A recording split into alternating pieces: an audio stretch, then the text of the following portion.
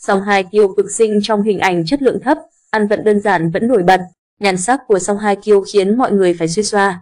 Mới đây, những người bạn thân thiết của Song Hai Kiêu đã chia sẻ lên mạng xã hội những tấm ảnh xinh đẹp của người đẹp. Những bức ảnh được chia sẻ đều là hình ảnh chụp vội vàng, không hề rõ nét. Tuy nhiên, điều này không hề ảnh hưởng tới nhan sắc của Song Hai Kiêu.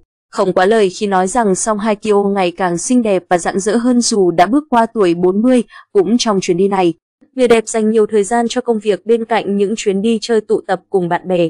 Trong một bức ảnh khác, bạn của Song Hai Kyo còn ngọt ngào nhắn nhủ, hoàng hôn Paris rực rỡ hơn khi hai Kyo đến. Trước đó, Song Hai Kyo từng nhiều lần bộc bạch về việc bước vào tuổi ngoài 40 của mình. Song Hai Kyo cho biết mỗi khi chụp ảnh cô muốn nhìn thẳng vào camera để có thể nhìn thấy gương mặt mình.